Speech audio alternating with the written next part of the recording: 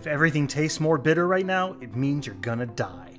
Okay, not really, but a new study has found a relationship between the taste of bitterness and whether or not you're sick. Now, most of us are already aware that our sense of taste changes and often just decreases when we're ill. But a lot of that has been due to things like sinus congestion because our sense of smell and our sense of taste affects our overall understanding of flavor. So when we're congested, we taste less and it often affects the flavor profile of our food.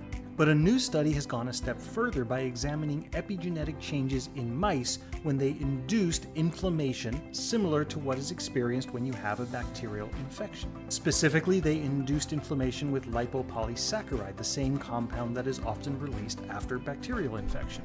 And what they found is this increased activation of the TAS2R gene, which is what codes for bitter taste on the tongue.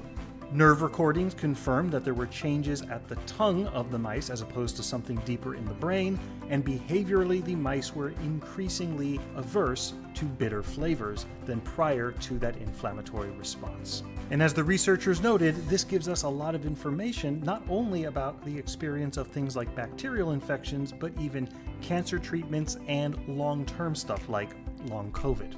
I hope you found this research as interesting as I did. Let me know what you think in the comments below.